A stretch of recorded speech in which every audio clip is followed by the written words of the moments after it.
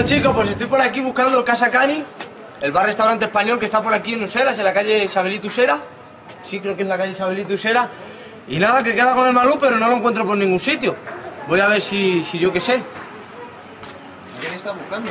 Pues al, a Manuel Malú, macho, que queda con él y mira, aquí está el Casa Cani, no sé. Pues aquí está, tío, está ensayando. ¿Está dentro ensayando? Vamos, pues mira.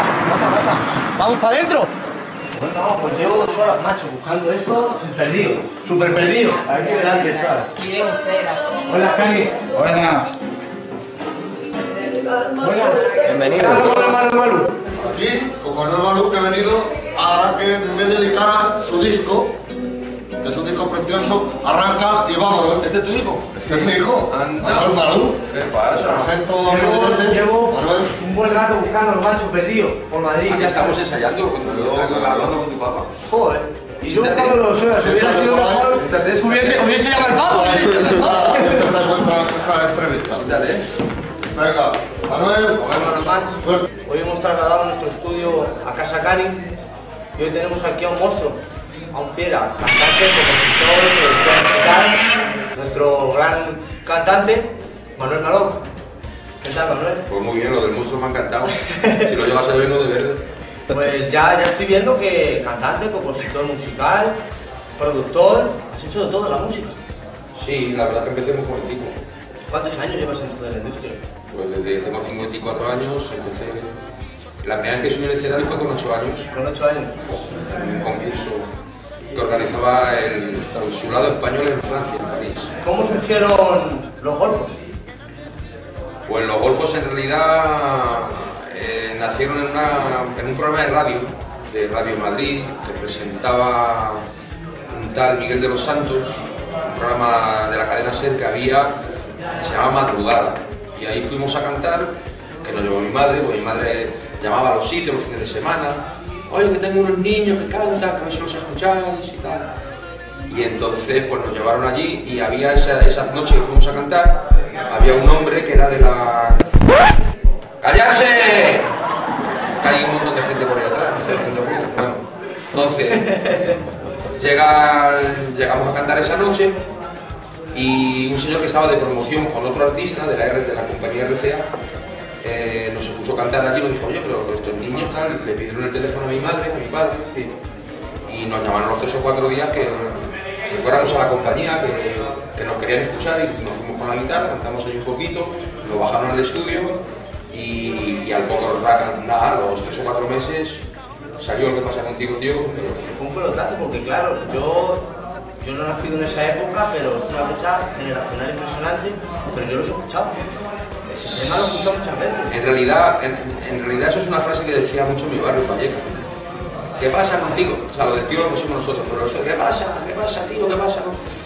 Y eso nosotros, pues de eso salió la canción y, y lo que se, se, se hizo una frase que la escuchabas igual en Madrid, en Vallecas, que la escuchabas en Bilbao, en Santander. En todos los sitios. Claro, ¿qué va? Incluso, yo me acuerdo que vino Fred Mercury, el- el- el- los Queen, Queen. fueron al Palacio de los Deportes un par de años o tres más tarde, cuando venían eso con la con que iban con una pared de luces que se levantaba, yo fui a ver ese concierto y me quedé impresionado porque me gustaba mucho el rock. Además luego hice rock, pero bueno. Y, y salió Fred Mercury y dijo, "Ay, hello Madrid, ¿qué pasa contigo, tío? Que se conoce que alguien le diría, oye, ¿qué puedo decir aquí para, Claro, claro, para quedar bien? para Digo, "Coño, gustar". de moda está la frase esta. Y el Fred Mercury soltó el ¿qué pasa contigo, tío? Claro, y aparte, aparte de los golfos has tenido, has tenido más grupos. Sí, la verdad es que, bueno, lo- los golfos fue una temporada, luego, a mí es que los golfos me pilló justo con 15 años y yo ya me juntaba, venía de Francia, entonces escuchaba otras músicas, también tenía unos- amigos que eran muy curiosos, eran los primeros grupos de rock que había aquí en, en Madrid, entonces eran dos pues de asfalto, de obús, cuando eran antes de ser obús, cuando era Unión Pacific, eh, esos grupos de rock, yo me juntaba mucho con ellos y me daban música que a mí me encantaba, que eran pues Led Zeppelin, Deep Purple, eh, eh, eh, Jimi Hendrix, yo que sé, grupos así, y entonces rápido la cabeza se me fue para otro lado. Aparte que yo estaba también un poquito cansado de, pues de, de- hacer un poquito siempre lo mismo, escuchar un poco lo mismo, y como si- siempre soy muy inquieto, pues me dio por, por darle un giro a los golfos y hice Manolo y Jorge, que ya era más, entre comillas, pop, y de ahí me fui radicalmente al, al rock y al punk. Claro, que era lo que te iba a preguntar, que joder, se me ha adelantado. Te iba a preguntar que dejaste el flamenco por un tiempo y fue en esta época que me estás hablando ahora mismo. Sí, sí, porque era justamente, además, eh, yo llegaba a los sitios a la, con la gente de mi edad y, era como un bicho raro, porque ahora se habla mucho de Camarón, pero yo escuchaba Camarón cuando realmente nadie escuchaba Camarón. Y, sí, sí, los primeros discos, el primero y segundo LP, que yo me los llevaba a los guateques y la gente me quería pegar. Yo decía, ¿dónde está Nortera? ¿Cómo es tan ridículo?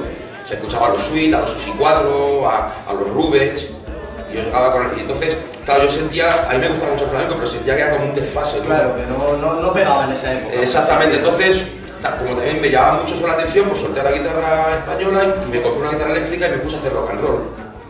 Sí, claro, que luego volviste a la fusión como por el 85 o así, ¿no? Claro, luego es que me fui de España otra vez y me di cuenta fuera de España que, que de rock, que sí, que en España se puede hacer todo el rock que te dé la gana, pero eso lo han inventado otros. Y no es, Y no, y no es no, un y, producto español. no, y no, y por mucho rock que se haga bueno en España, el rock que hacen fuera tiene otro color. Y yo me di cuenta, y me di cuenta que yo terminaba los conciertos de pan, y muy bien, los toreros asteroles, el grupo, muy bien. Pero luego salíamos eso, cogía mi guitarra, me hacía dos rumbas y los punkis flipaban. Flipaban los punkis. Flipaban los punkis y decía, pero ¿qué estoy haciendo yo rock and roll fuera de España? Cuando si lo que yo soy es rumbero toda la vida y me cogí otra vez, me volví otra vez a la raíz, pero claro, con el bagaje que había aprendido de, de- En de el- rock y todo, claro, todo lo que había chupado de por ahí, pues lo fui metiendo. Hiciste la fusión, claro, que discos en solitario tienes cinco. Sí, creo que sí. Son cinco. Sí, como co- sí, luego banda sonora, pero, Banda sonora pero, pero como disco estudios sí. de Manuel Malú son cinco, Creo que creo. son cinco, sí. Que el último es Ahora aquí vámonos. Exactamente. Por cierto es precioso a mí. Me gusta un montón. Alegro. Y también he escuchado que, claro, como me has dicho tú, las bandas sonoras que has trabajado en el cine. Sí. Para, para el cine y... Sí, hice mi primera banda sonora que fue un. Ahí me, me echó una, una manilla.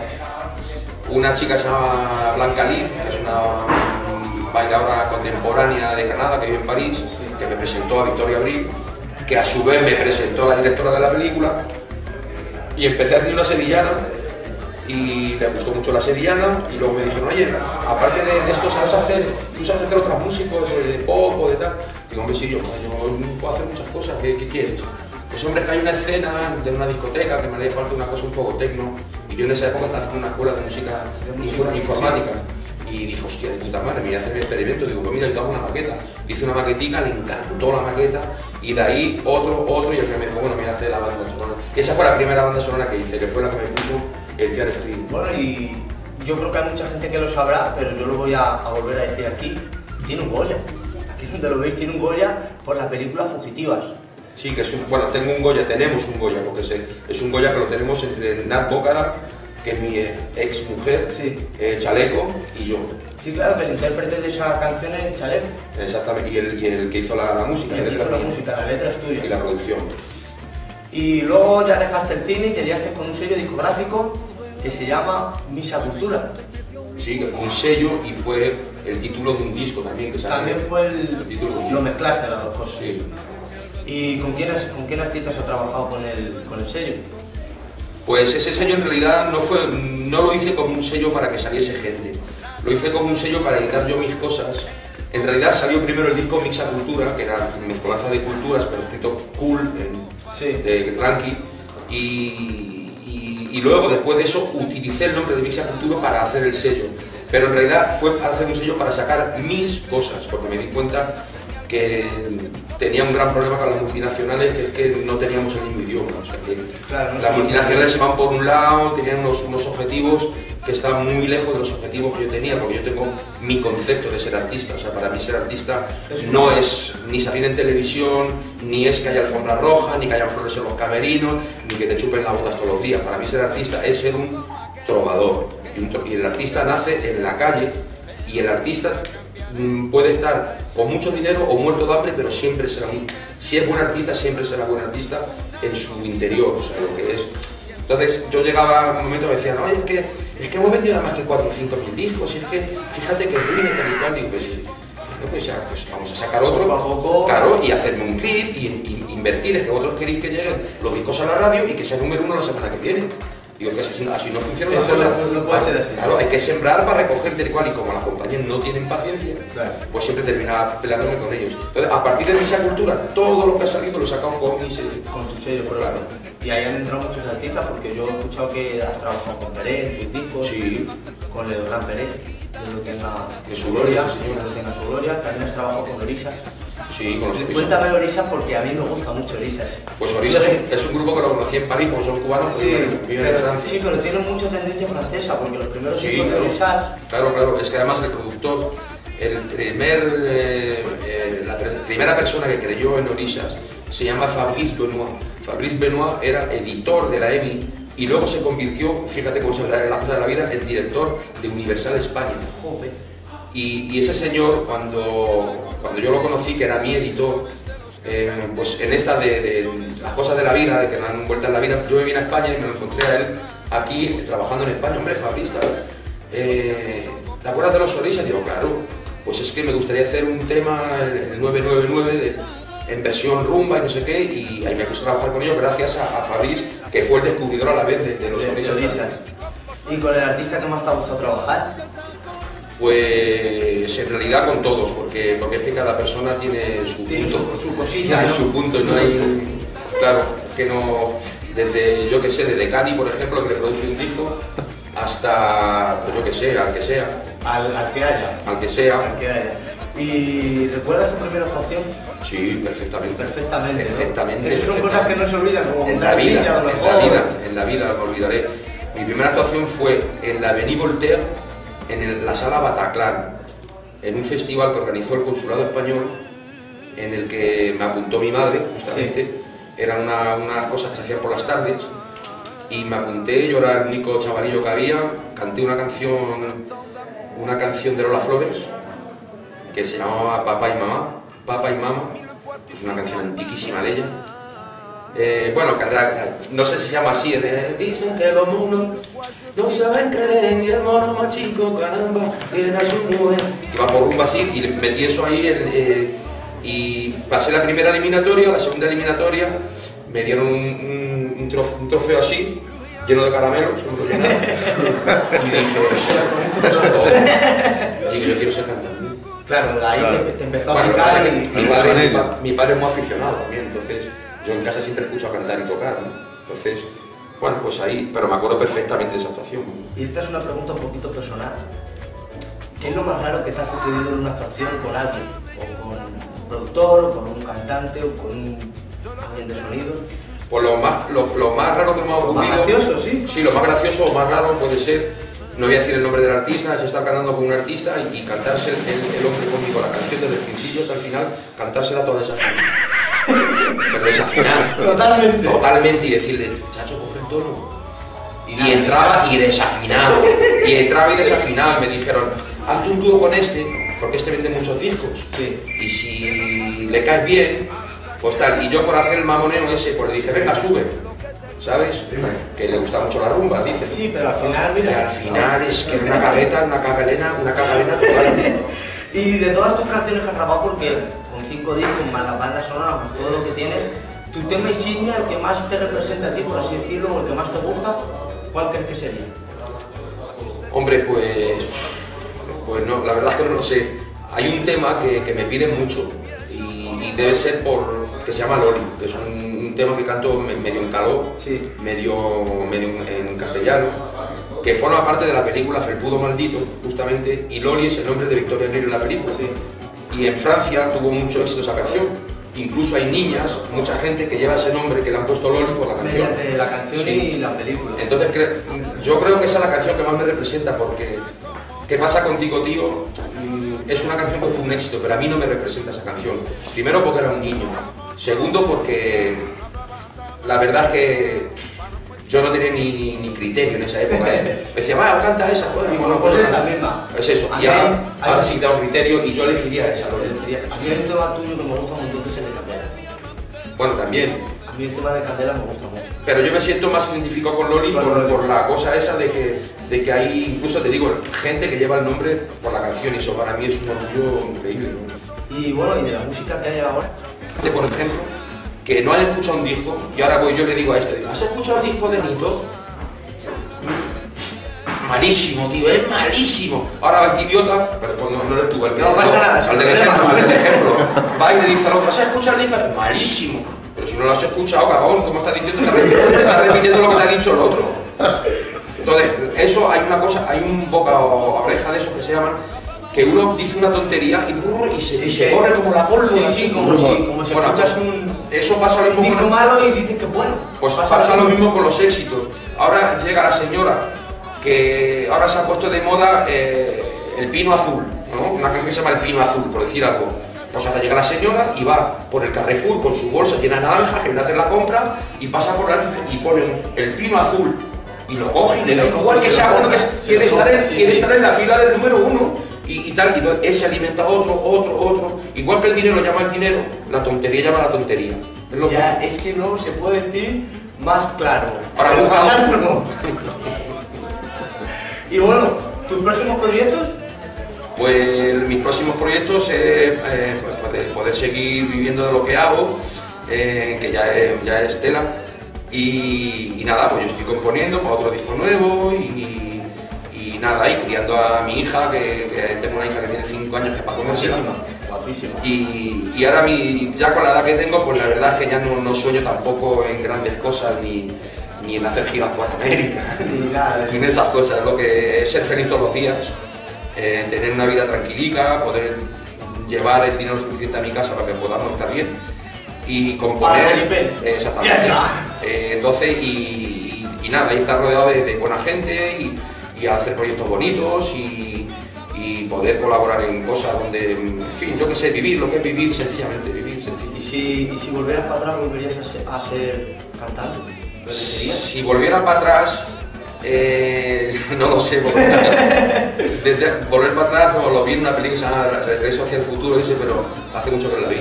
El- no, nunca pienso volver para atrás, porque además volver para atrás eh, lo haría otra vez, no lo haría otra vez, pues yo qué sé, pues igual sí o igual no, igual a lo mejor hacia bombero, a lo mejor hacia bombero. Bueno, si, pues, si hubiese sido bomberos hubiésemos perdido muchísima música buena que tiene. Ole. Y para demostrarlo, aquí ya hemos acabado, nos gustaría que nos cantases un poquito con la guitarra, Pues eh, mira, vale. que la tenemos aquí, que nos hicieses una, un temilla tuyo o, lo- o lo que quieras. Mira, esa que, te, es- esa que te he dicho antes.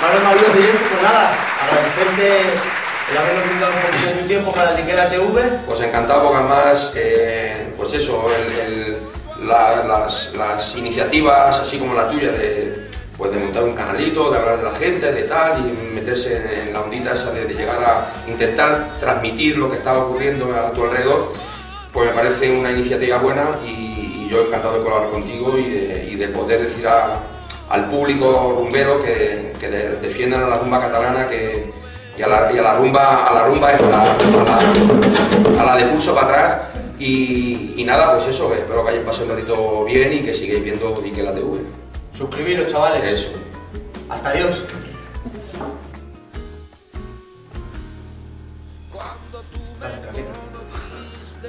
Claqueta.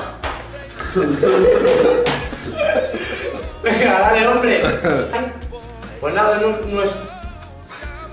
¿Qué pasa? ¿Qué te pasa? Si no fumas porro, si lo mato, no sé. Tabaco, no, no, si fumas. Me cojo lo, me salto los sesos. Venga, dale caña. Evítale bien que puedes cobrar, que es un, es un monstruo. Que puedes cobrar, que puedes cobrar. ¡Pegar, pegar, prima! El vista le que puedes cobrar. Para.